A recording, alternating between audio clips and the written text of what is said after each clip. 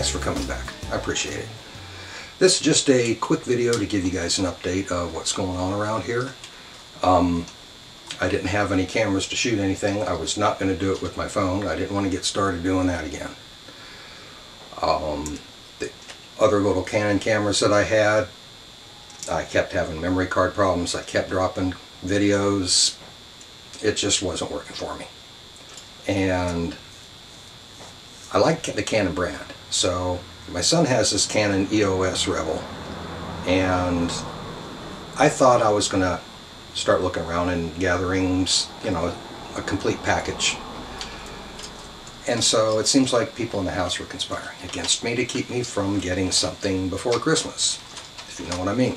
Yeah, Mrs. Santa was really good to me, you know that. I ended up getting a Canon EOS Rebel 6. That's what I'm shooting this on. It's got full 1080 HD. That's not what I have it set on right now. It's on the minimum. I just playing around with the camera. I'm going to give you guys a couple close-ups over at the mill, maybe over at the lathe, um, over at the surface grinder. I got something going there because I'm going to try grinding some of my high-speed lathe tooling. Um, yeah, I got some additions over here on the lathe I want to show you. I've got some new tool holders and some insert tooling. Yeah, I know what that world's like. Um, I just can't seem to get sharpen the other ones by hand. It's just something I'm just not grasping for some reason. So I can set angles over there um, on the surface grinder.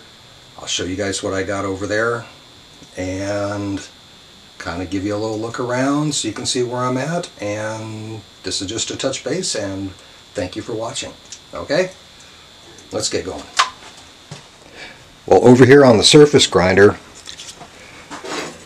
I picked up a little toolmaker's vise and I was going to try to hold some of my this is a little boring bar I've got that I stuck it in a little bit too hard and I toasted the end of that there. And I was just going to see if I can put a nice new edge on that with my surface grinder, but I didn't feel right doing it with a one inch wide wheel. So, and I apologize if this is a little bit dirty, but this is brand new. I've just been handling it with these hands. So I've got this quarter inch wheel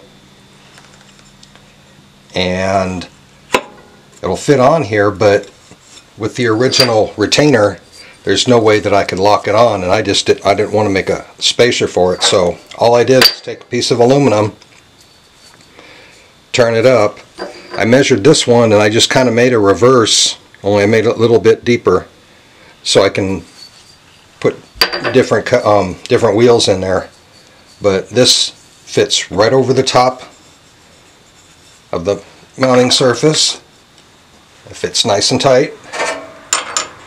And now I can go ahead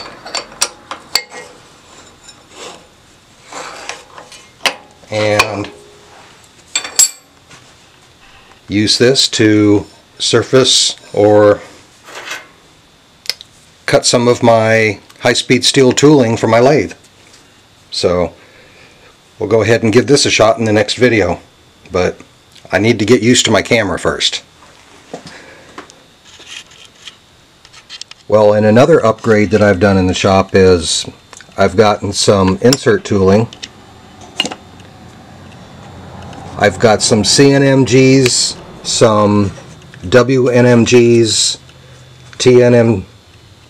TNMGs, and some others here. Well, I am not sure what these are yet, but I got a couple other holders for my lathe.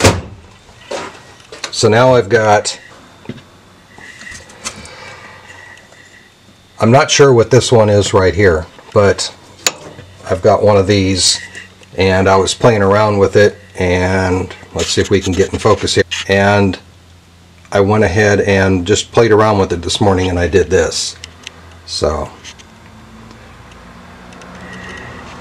These TNMGs here, these are both new holders and these are just the cheap Chinese holders and the cutters that came in them and they're doing pretty good.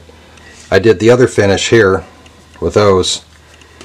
Um, WNMGs, I only got one holder for that. I've got some old um, in there right now. And the TNM, no, WNMG. There we go. The WNMG here. I haven't tried these yet, but they're looking good and I've got them all set for center height. So I'm increasing my arsenal here. I know I should be learning how to grind high-speed steel first. I just, I can't get it. I just can't get it. It's easier for me to dress one of these up with a nice stone and go ahead and start cutting. There we go. So this is as close up as I've gotten so far. And say, like I say, we're just trying out the new camera. Here. Here, let's turn on the power. Let's see how it captures something this close up.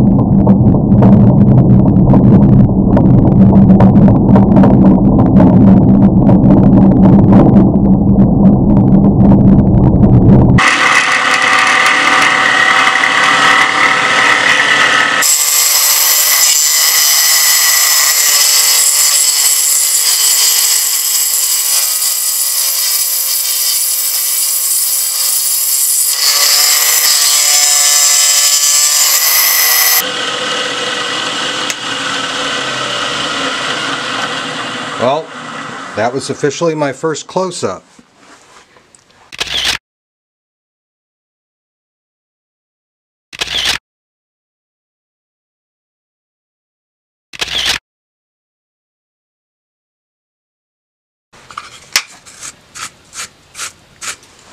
Yeah, she's just a little bit out. Looks like it's kind of tipping this way a little bit. So, let's try a regular shot. And this is about regular distance I probably would be filming from, or recording from.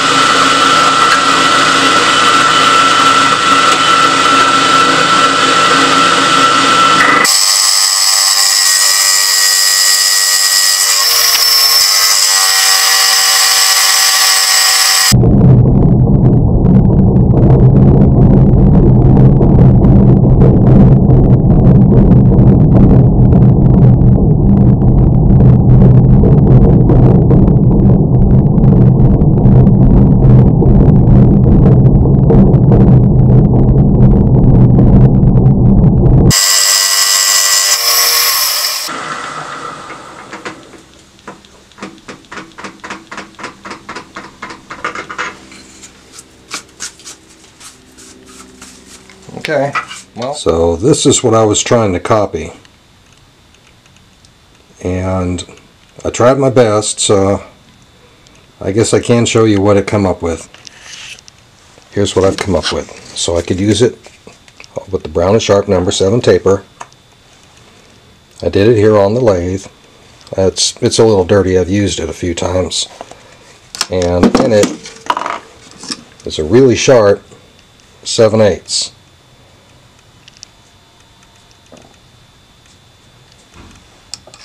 Put up a couple more shelves over here. This is right over next to my Brown and Sharpe port. I've got my steel stock over here that I've been collecting.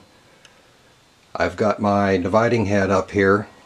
Um, somewhat book of instructions. I haven't really started playing with it yet. I've done a couple bolt circles and they didn't turn out too bad. But um, I put some drills up there on the top and that's where I'm keeping my oil. but I've just got other scrap down there. Yeah, somebody got me a shop toad. Um, let me see here. Yeah, it's a remote control rat. My dog hates it. Let me see, I've got some centers, center um, punches. I've got the hold down set that my wife got me for my birthday in November. And this is where I'm basically storing all my aluminum flat stock here.